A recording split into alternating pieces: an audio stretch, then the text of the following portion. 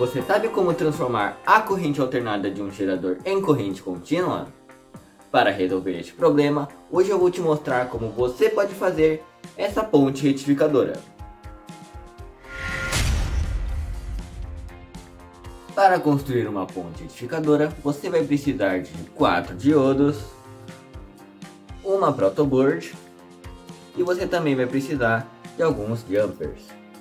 Mas se você não tiver uma protoboard, você também pode soldar os terminais com ferro de solda. Você pode encontrar esses diodos em placas eletrônicas velhas, mas você também pode comprar elas por menos de um real em lojas de eletrônicos. Como nós fizemos uma ponte retificadora para acender um LED, você não precisa usar diodos que suportem muita corrente elétrica.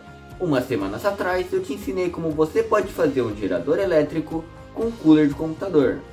Mas como você pode ver, o problema é que o LED fica piscando porque a corrente sobre ele é alternada. Isso quer dizer que a tensão elétrica no LED fica invertendo de polaridade. Como o LED só permite a passagem da corrente em um único sentido, ele só acende em uma das polarizações da tensão.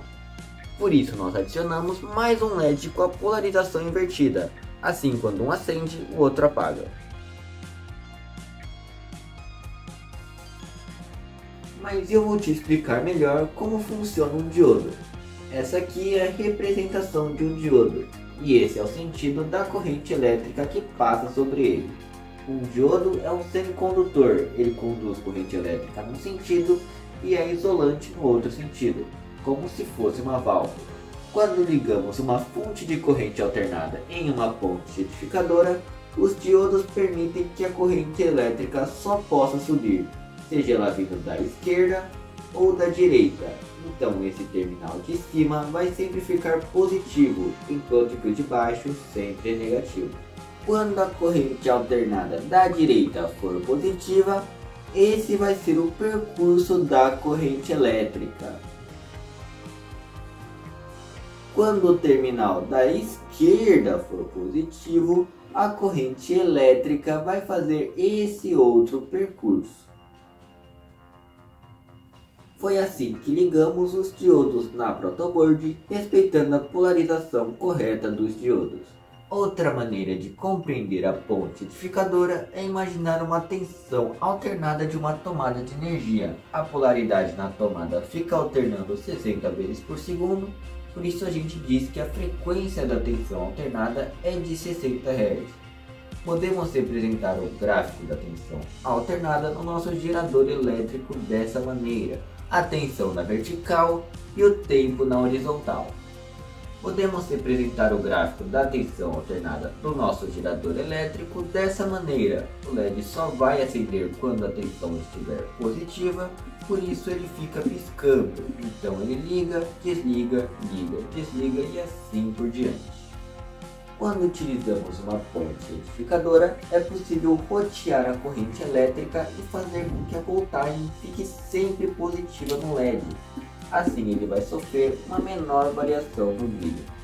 Se você quiser reduzir ainda mais essa variação de brilho, você pode ligar o capacitor entre os polos positivo e negativo da ponte para estabilizar a tensão. Esse é o polo negativo do capacitor, nós testamos o capacitor, mas a diferença foi quase que imperceptível. Um capacitor é um acumulador de carga elétrica, então como ele demora para descarregar, a tensão nele não cai direto para zero. Por isso que quando ele é ligado na ponte retificadora, a corrente elétrica permanece praticamente contínua e é assim que costuma ser transformado a corrente alternada em contínua. E assim que transformamos a corrente alternada em corrente contínua nos carregadores de celular e nas fontes de computador. Um outro detalhe é que a ponte retificadora reduz a tensão no LED. Veja as medições que fizemos com o voltímetro no LED ligado sem a ponte e depois com a ponte retificadora. Se você quer aprender como fazer um gerador de energia eólico com um cooler de computador, clique nesse vídeo aqui e até a próxima!